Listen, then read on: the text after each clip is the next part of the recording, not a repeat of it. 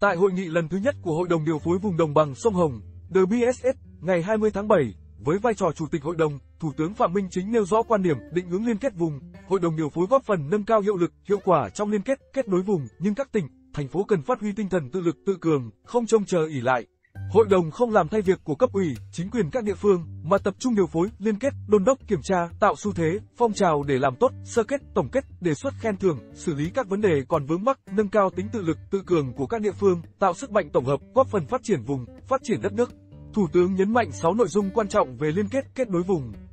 Thứ nhất, kết nối hạ tầng giao thông, nhất là tuyến đường cao tốc Ninh Bình Nam Định Thái Bình Hải Phòng, tuyến đường ven biển từ Thanh Hóa ra Quảng Ninh, kết nối hạ tầng kỹ thuật về điện, nước, viễn thông. Thứ hai, về kết nối phát triển, đào tạo và sử dụng nhân lực, Thủ tướng lấy ví dụ về việc điều động nhân lực tại các địa phương của vùng trong phòng chống Covid-19. Thứ ba, kết nối xây dựng thể chế, cơ chế, chính sách ưu tiên, ưu đãi, đặc thù, vượt trội cho vùng.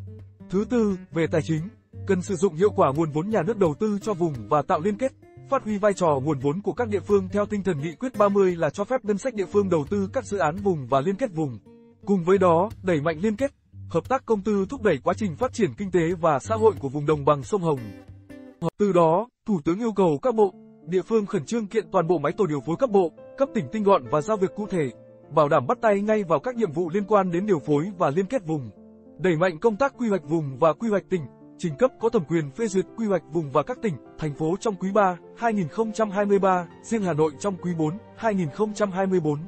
Về cơ chế, chính sách đặc thù, ưu đãi, vượt trội cho vùng DBSS và xây dựng luật thủ đô, Bộ Kế hoạch và Đầu tư được giao chủ trì, phối hợp với các bộ, ngành, địa phương liên quan nghiên cứu kỹ lưỡng, đề xuất các cơ chế, chính sách đổi mới nhằm phát triển vùng, trong đó có các cơ chế, chính sách về điều phối, phát triển liên kết vùng.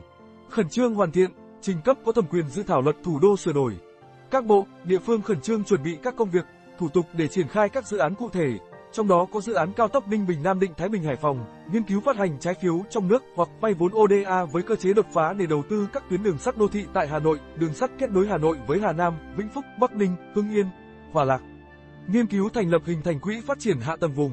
Cùng với đó, nghiên cứu triển khai các dự án liên kết vùng trong bảo vệ môi trường, tăng trưởng xanh trong bối cảnh nhiều nước có các phản ứng, chính sách mới về biến đổi khí hậu. Vùng cần tiên phong trong vấn đề này. Bộ Công Thương tham mưu phối hợp với các địa phương tăng cường liên kết trong phát triển các khu công nghiệp,